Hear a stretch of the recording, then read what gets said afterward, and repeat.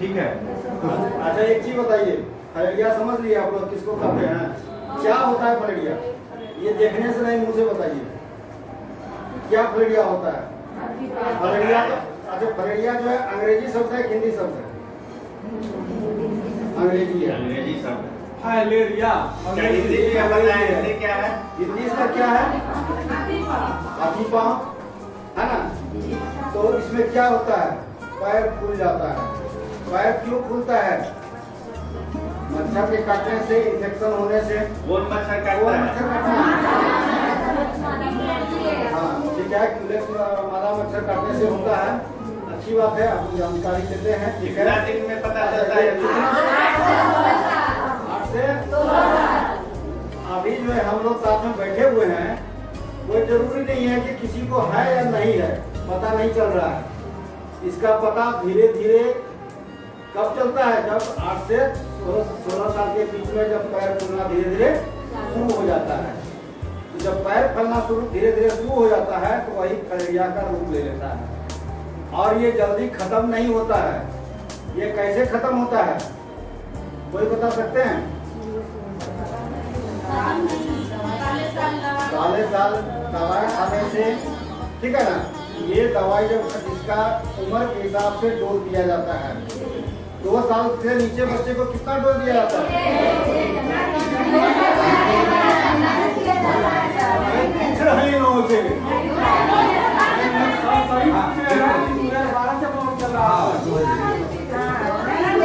ऐसा करो कि हमको जानकारी नहीं है दो साल के बच्चों को नहीं खिलाएँगे हम। खिलाएँगे। मतलब ठीक है ना? साल से छोटे बच्चे को नहीं देना है। दो साल से ऊपर वाले, यानी दो साल से पाँच साल के बीच में एक एल्बेंडाजोल एक डीसी ठीक है? दो, पाँच साल से पंद्रह साल के बच्चे को एक एक एल्बेंडाजोल दो डीसी उससे ऊपर जहाँ है, एक एल्बेंडाजोल तीन डीसी क्या रहेगा? ठीक है।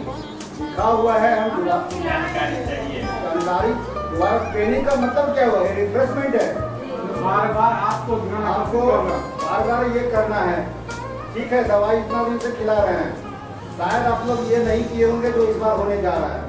आप लोग घर जाते हैं, इतना काउंट करके दवाई दे दिए, खिला दीजिएगा। लेकिन नेवर इस बार ये सब नहीं करना है।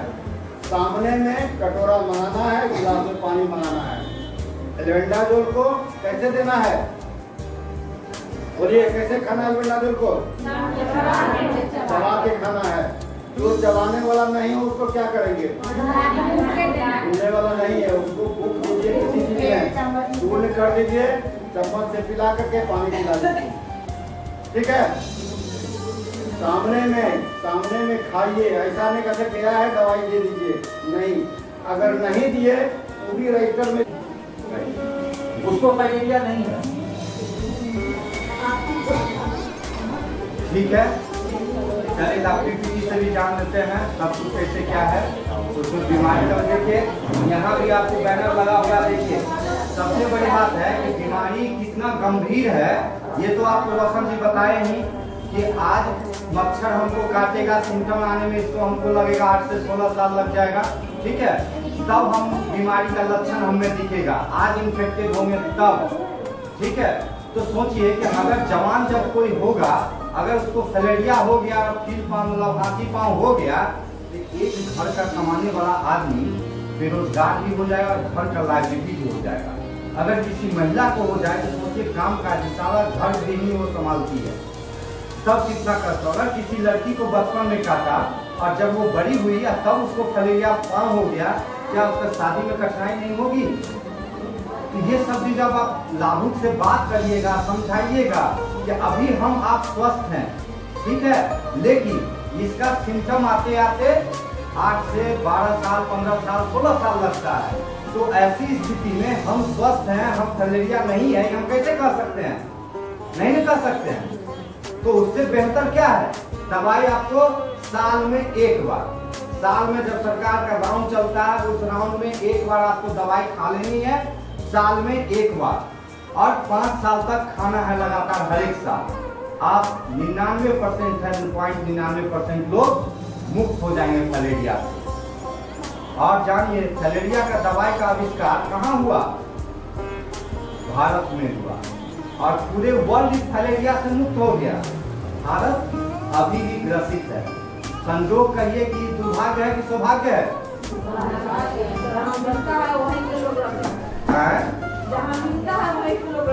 वहीं के लोग? जहाँ दवाई का आविष्कार हुआ। दवाई का आविष्कार हुआ, पूरा वर्ल्ड खा के सुरक्षित हो गया फलेरिया मुक्त हो गया, और हम अभी भी ग्रसित हैं। है ना? तो इस बार के राउंड में हर आशा याद रखिएगा कि दवाई ना तो घर पर छोड़ना है ना पुलिया बाँध के देना है। हर हाल में हमारी कोशिश होगी दवा खिलाने की। सामने में खिलाना है।